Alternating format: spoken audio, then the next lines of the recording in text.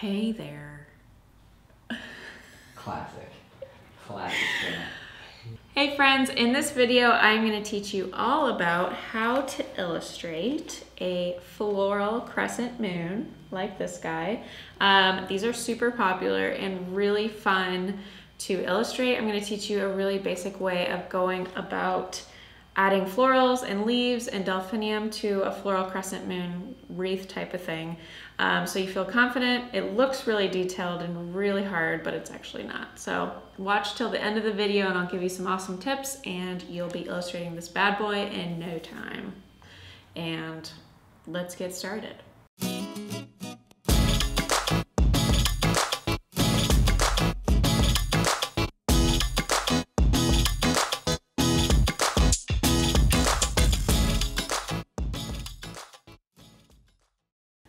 Okay, let's get started. So I am planning on scanning and digitizing this illustration. I'm not planning on hanging it up in a frame or anything that I would need a thicker like cardstock for, um, cover stock paper for. So I am using layout bond paper. This is my favorite illustration paper. It's really smooth. It's also semi-transparent. So if I had a sketch underneath that I didn't want to mess up because I finally got it perfect, then I could tear off that sheet with the sketch on it, put it underneath a new sheet of paper and trace on top of it. Um, today I'm not gonna do any sketching, or I am gonna do some sketching, but I'm not gonna do any tracing. But if you feel a lot more comfortable getting a sketch right or tracing or whatever it might be over a circle guide, then go for it. Um, nothing wrong with that. Um, but I love this paper. It scans really well. Uh, like I said, it's really smooth and it's semi-transparent if you want to trace. So I'm going to flip it open to the top sheet of paper um, and grab my Sumo Grip by Sakura pencil. I love this pencil. I just started using it a couple weeks ago. It's a lead or mechanical pencil, 0.7 size lead. I love it. It's great. Um, don't have to sharpen it. You do have to keep lead on hand. Um, so make sure you have lead if you do use mechanical pencils. I'm going to be using this eraser on the Sumo Grip pencil as well, but those mono white erasers from Tombow are really great as erasers as well. Um, and then for actual ink, I am probably either going to use my size 03, there it is, micro, micron pen, or 01 if I can find it. We're digging around. I have a lot of micron pens. Um, but 0, 3, 0, 5, and 0, um, 1 are my favorite tip sizes for micron pens. There's my 0, 1. Um, 0, 1 is smaller than 0, 3, so it's kind of got the nice fine detail look. If I'm scanning the illustration, I prefer to use a slightly thicker pen tip size because um, then you don't have to do all this adjusting in Illustrator and your scanner to make the lines a little bit thicker. So, and they get spotty if they're too thin. All right, so what I'm gonna do, I'm going to just be doing, I'm doing a floral crescent moon. So I'm gonna have like one C curve area of a circle is going to be dense with florals towards the middle, towards the middle and then taper off kind of like a crescent moon. Um, a C shape and then go to a thin line. So I don't have anything that I can just like uh, trace a circle around, like a roll of um, painter's tape would be nice. But so I'm just gonna freehand it.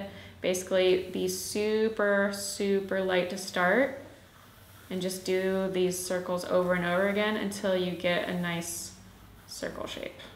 So I'm lightly bringing my pencil around in circular motions. The more you do this, the more you're gonna bring out a somewhat perfect circle shape um, with all the different circle lines. So you can follow and erase anything that you don't want. Like I don't need this line way out here, but I'm gonna keep this part of that circle down here. Um, just kind of get rid of that. But once I have the ink down, I am gonna wait for it to dry really well and then I'm gonna erase all of the pencil. This is going to be my guide um, for my moon shape and then I'm going to erase it after. Um, if it's really distracting for you, then you can erase more of this pencil. Like if you can't really see what you're doing, um, then erase more of it. Okay, so I've got my circle. Again, it doesn't need to be perfect. This is kind of like a floral wreath, but it's just gonna be, like I said, heavy on one side like a crescent moon. And then we're just gonna connect the two tapered ends of the floral moon shape with a kind of like a branch type thing, okay?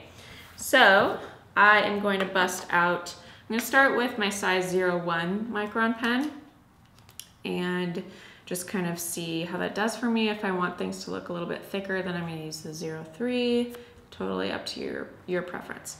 Um, I like to keep this pretty basic, but basically um, make it really dense so it looks super detailed, looks complicated, but it's not actually that complicated if you have patience. So I'm just gonna start, on the left side is gonna be my actual moon shape, and then on the right is gonna be my branch shape, or my branch finishing off the moon. And I'm gonna start in the bottom middle with my first branch and lead into floral.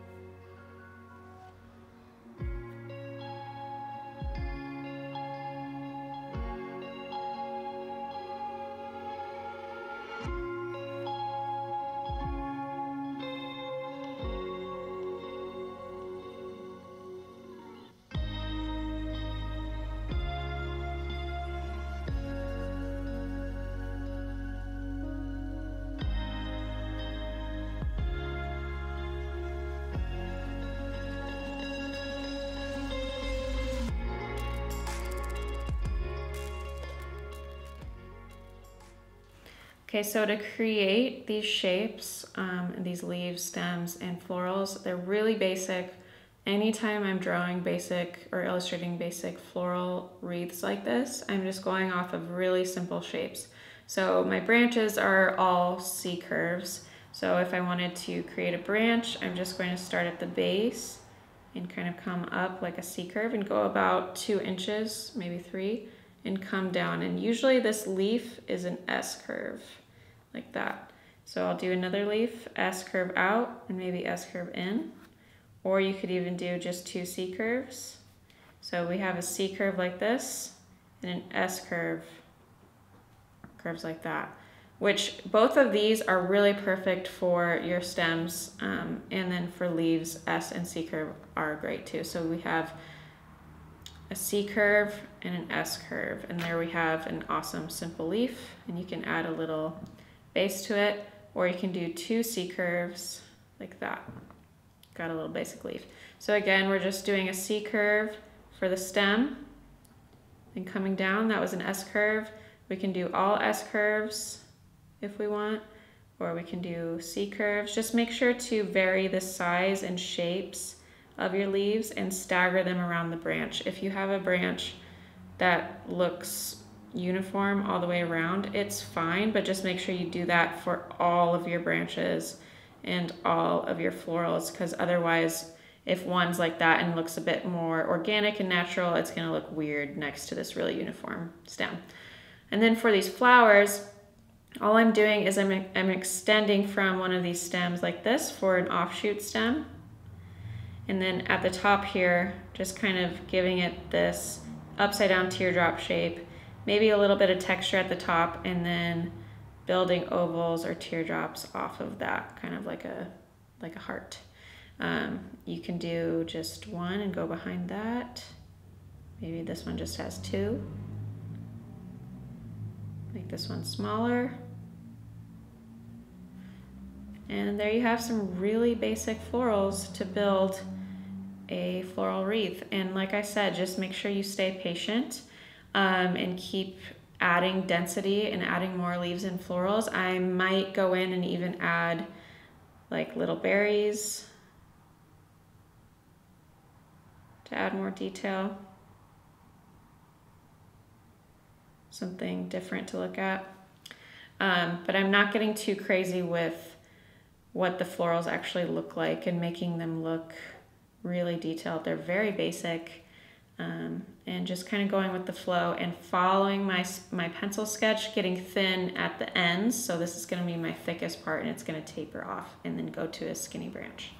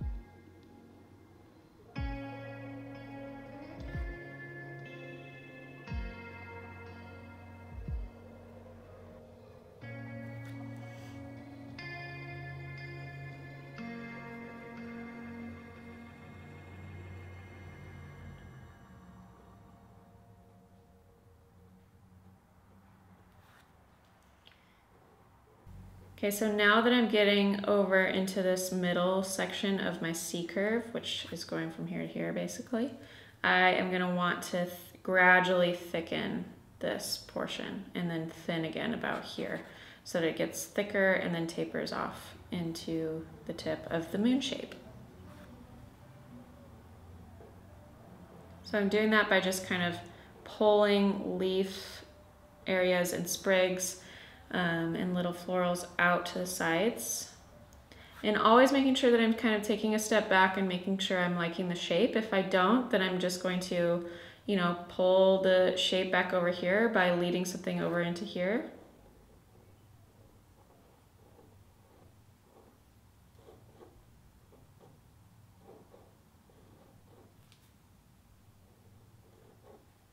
But having fun with it, making sure I'm having fun with it and building off of each sprig, adding loads of detail. But the detail isn't that scary when these shapes are so basic, so you really just need patience.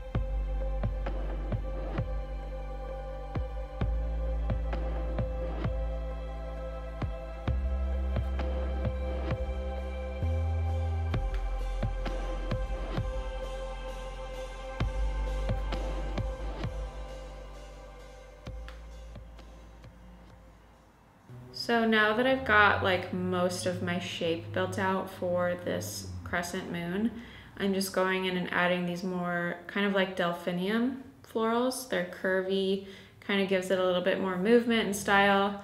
Um, so I'm literally just drawing these curves, so like S curves, and adding small circle shapes around that curve. And I'm not making these perfect. I'm just kind of laying them down really quickly and it just does the trick.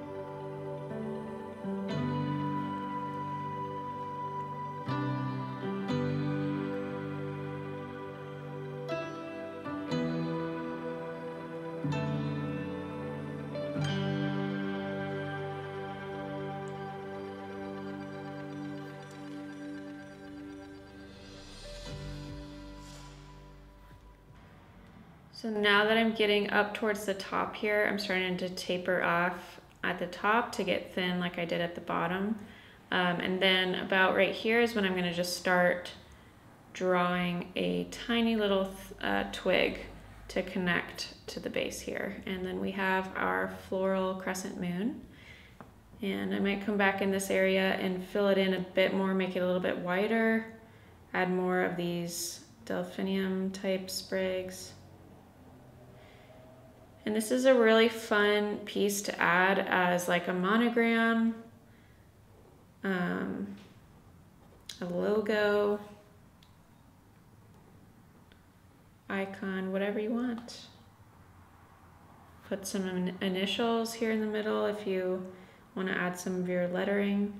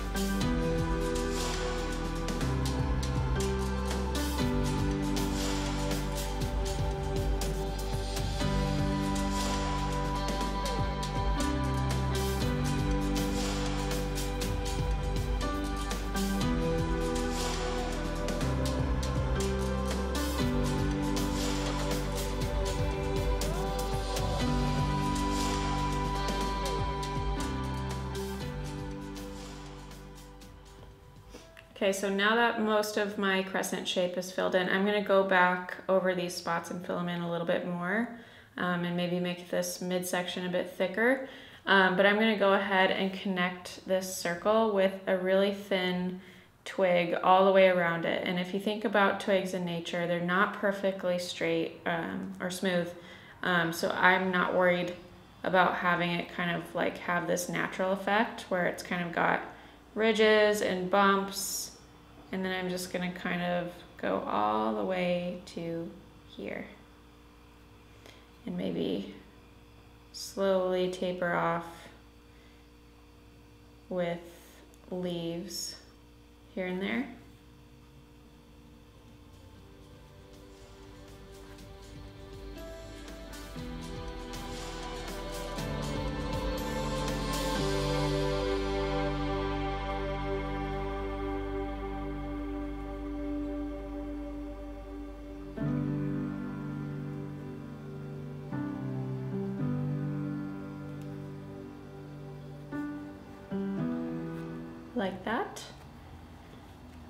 Dry a little bit because I don't want to put my arm on it and smear.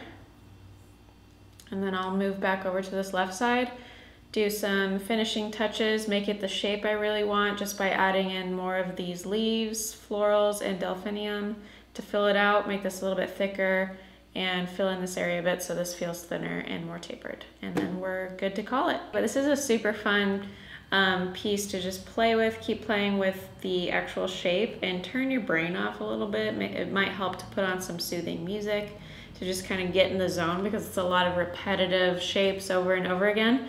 Um, but make sure you continue to kind of take a step back and look at the overall shape of your crescent. Um, that's the main focus and you are good to go.